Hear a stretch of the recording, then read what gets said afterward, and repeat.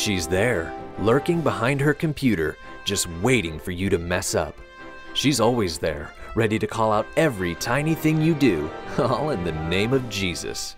Think you mentioning anything outside the Bible in casual online conversation is gonna get by her? Think again. Picking and choosing battles is hard, especially when everything is a battle and pitchforks are in short supply. As she sits down at her keyboard, she cracks her knuckles and she says to herself, It's time to slay heretics and chew bubblegum, and I'm all out of gum. The most upright Christian on the internet getting specks out of eyes since 2001. Because being a bully to you is the loving, Christ like thing to do. She is Judy McJudgerson, the mighty keyboard warrior. All right, let's see what we got today. Wow, wow. This girl's been a Christian for an entire week? How does she not already have the New Testament memorized? I'm disappointed. It is my duty to inform her immediately that everything she's doing and believing is wrong. Is what I'm about to say grounded in a love for people and God? Nah, there's no way I'm becoming fluffy. Jesus turned tables and I hand out virtual face punches. And what is she thinking listening to that band? I just need to tell her it's demonic. I mean, what is a really good way to tell these people that what they believe is wrong? I know. I'll be very explicit and direct and tell them everything they believe is evil. Everything is New Age. Everything is demonic. I must place this impossible yoke of perfection on everyone. They must know they can never do anything right. And if they're an atheist, I must tell them that they're going straight to hell because I know that is just the best way to represent Christ. Do I love them? That doesn't matter. I'm a keyboard warrior. Being nice isn't loving. Don't they know that making relentless fun of this pathetic heretic is the best way to convince them to repent? I know that the most Christ like thing I can do is to be emotionally reactive and act like the world and the culture when anyone steps out of line, even if it's just a little bit. So, you're cancelled. Ah. What? Oh, okay. Where are my pearls? I need my pearls for this one. They're reading books from them? This poor random person online needs to know that because this teacher associated with this other false teacher that one time in that one place, like 20 years ago, makes them a false teacher. Don't they know that everyone's a false teacher? I must react to this.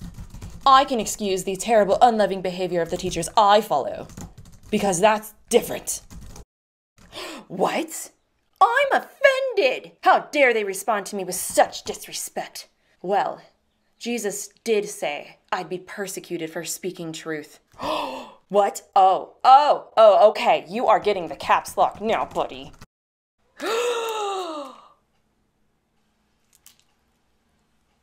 They're not using a King James Bible? That's it. I'm done. I'm done with these people. They're just going to send people straight to hell by using that other translation. Those aren't other versions, people. Wake up. They're perversions. King James Version is the only true version. It's okay, Judy. Hang in there. It's tough doing God's work. No! No, no, no. There's no way we can have an open and honest dialogue about these teachings. I cannot allow this type of intelligent conversation. I have to shut them down.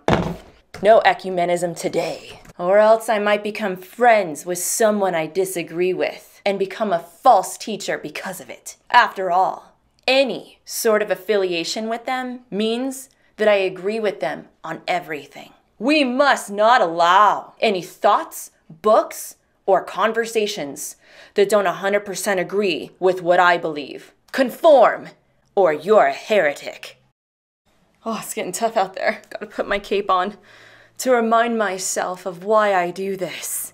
I must stay strong and comply with my online tribe, or else everyone will come for me. Even if I show a little bit of likeness or perspective from the other tribes, ugh, then I'll look like I'm the weak believer. They might take my pitchfork and use it against me. It's okay. It'll be all right. Heaven forbid that I learned something from someone with a different view. Stay strong, McJudgerson.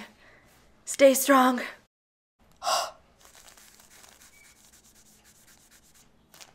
Whoa, wait. What? A respectful debate? Between Christians and a terrible, awful unbeliever? No way. We cannot be associated with spiritual leprosy. We should not be respectfully and lovingly debating these people, but yelling at them to repent of their sins. Turn or burn. And everyone needs to know about it. But didn't the Samaritans and the Jews hate each other, yet Jesus told the story of the Good Samaritan and said we should be like that? Uh uh, nope. Get behind me, Satan. Uh uh, nope, no, no, no, not again. I will not be nice to this person publicly because if I do, where will it go? Where will it end? We're chatting humanely, and the next thing I know, I'm humanizing them as a person with feelings and end up seeing their perspective. I might end up actually abandoning everything I believe and becoming like a universalist or something. Not today, Satan. Oh, he is sneaky. I must remain passive aggressive, defensive, and live in constant fear of those who disagree with me. Or else I'll lose my faith. I mean, where would Nabeel Qureshi have been if David Wood didn't immediately condemn him, refuse to be his friend, and tell him he's going to hell? Wait. Ugh. They're talking about themselves?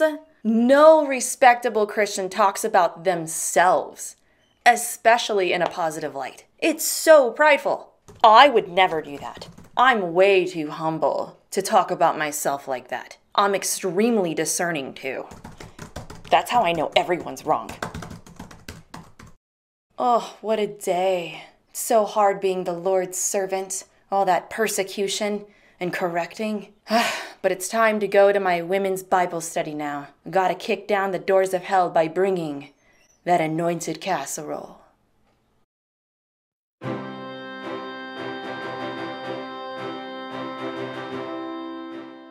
So there she goes. Not every hero wears a cape, and not every warrior can bear the burden of the pitchfork. No matter what you do, no matter where you go, she's watching.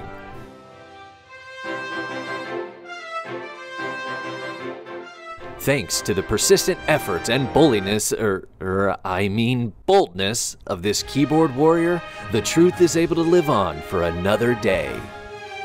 Thank you, Judy McJudgerson. Where would the body of Christ be without you?